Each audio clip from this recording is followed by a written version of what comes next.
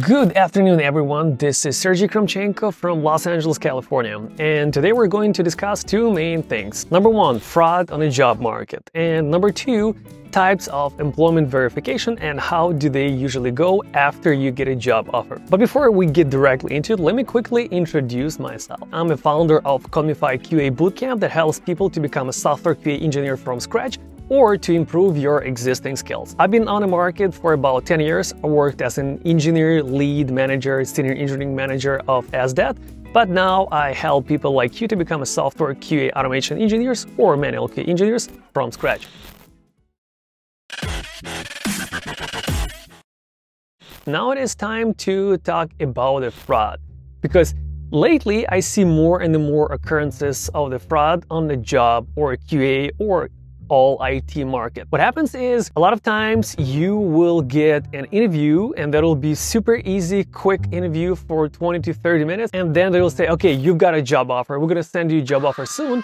And they might even send you actual job offer that you will sign. But the thing is, Last time it happened, our student didn't even see the person who was interviewing him. He would just get a random email by saying, we want to invite you, and then he would get a job offer. But it's too easy, isn't it? What?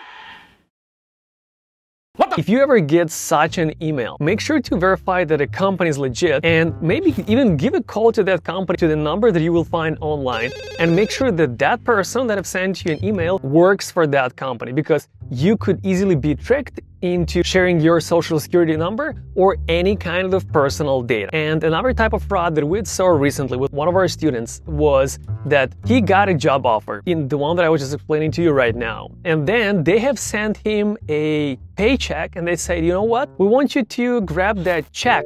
We want you to cash it out and go and pay to some company or send money to some company that is going to send you equipment. So usually when you get a job, they will send you an equipment such as laptop, couple of monitors, or whatever else you need, chair, table, etc. But this time they said, we're not going to send you those items, we are going to send you a check that you will have to go to the bank and cash it out and pay to some certain company. If you ever see something like that, make sure to not to respond to that company and possibly share their name on the LinkedIn because those people will very likely try to trick other people just like you. Now, let's talk about a job verification. Whenever you're gonna get a job offer, there are two ways of the company to verify your data or to verify your previous experience. How many walkers you killed? So the first way is to utilize actual company's HR to give a call to your manager, your lead, or your director, or just send you an email to verify that you did work for that company. The other way is to hire actually a third-party company that does job verifications professionally. How many people you kill? And they will do job verification for your future employer. And this is the most common case on the market these days. Usually, the third party company will reach out to you, the company you worked for, and even possibly to the school you went to or university you went to. I had a such occasion that they even called the school that I went to, the high school back in Ukraine that I went to in 1996. And you know what? They did ask me for a phone number and they did call the English teacher because no one else could speak English very well. So they did call her and they did verify that I went to high school in Ukraine. Now let's talk about actual types of the job verification or employment verification as you could say and I will go from the easiest one to the most difficult or challenging one. So the easiest one is an email verification. When you get a job offer, they will ask your employer or HR will ask you to share an email and a phone number of your previous manager or a couple of people from the company. So you will find a number or an email, you will share it, and they will send a simple email with a couple of questions such as what were your strengths, what were your weaknesses, if they would like to hire you again, and others, very simple question. There will not be questions, something like how much did he make? That is completely on your side. They cannot legally ask your previous employer about it. Second type is a call. They will once again ask you for the information and they will give a call to the person you've specified as your manager or lead or director. Typically, these types of interviews or calls last for about 10 minutes where they will ask one more time same simple questions about your strengths and weaknesses and why did you leave the company? Why did you look for a new job? Third one, I would call this one forced email or call verification or employment verification through the call. So during this type of verification, they will not ask you, or maybe they will ask you for a phone number and for an email.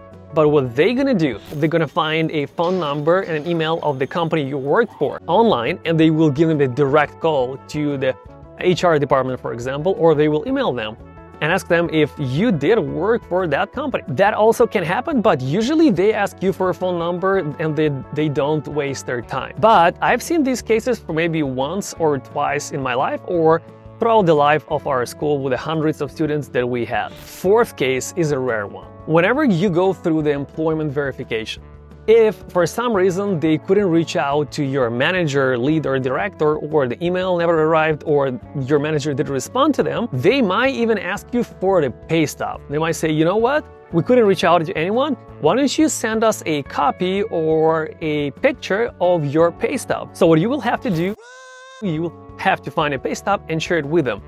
But this is another place where the fraud can be hidden. This is the place where the fraudulent company might ask you for your personal data. So make sure that you will hide all the personal information which will be located on your pay stub. Whichever information you don't want to share, make sure to hide it and only then send it to them. But one more time, this is very rare case scenario. It happens maybe once out of 100 cases when people get the job, or maybe out of 200 cases. So no worries, usually they will simply give a call to the number that you have specified or to an email address that you have specified whenever you sent it to them. And now, fifth one and the most uncommon one, W-2 form or a copy or 1099, whichever you had. So I have never seen such an occurrences throughout the life of our school. So none of our previous students ever got the request to get the copy of their W-2 or 1099, but it is possibly that they will do so. Once again, it will only happen if your manager didn't respond to an email, your manager didn't respond to a call multiple times. Only then they might ask you for a pay stub or even for a W-2. But I never had such a cases and I would doubt you will ever have it. But just be ready that they might ask you for it, but also be aware that whenever you send your W-2 form, there will be your social security number. There will be your personal information that you might want to hide before you actually share it. Because if it's a fraudulent company, they might use it to take some loans on your name or to do other fraudulent activity. Great, now you know quite a few different types of employment verification that you will go through or you already did go through in the past. If you guys think that I've missed something or you would like to add anything to it, please make sure to do that by adding a comment right below this video. Otherwise, make sure to subscribe to our channel and to hit that big mm-hmm. fat thumb up button below. Thank you for watching us and I will see you next time.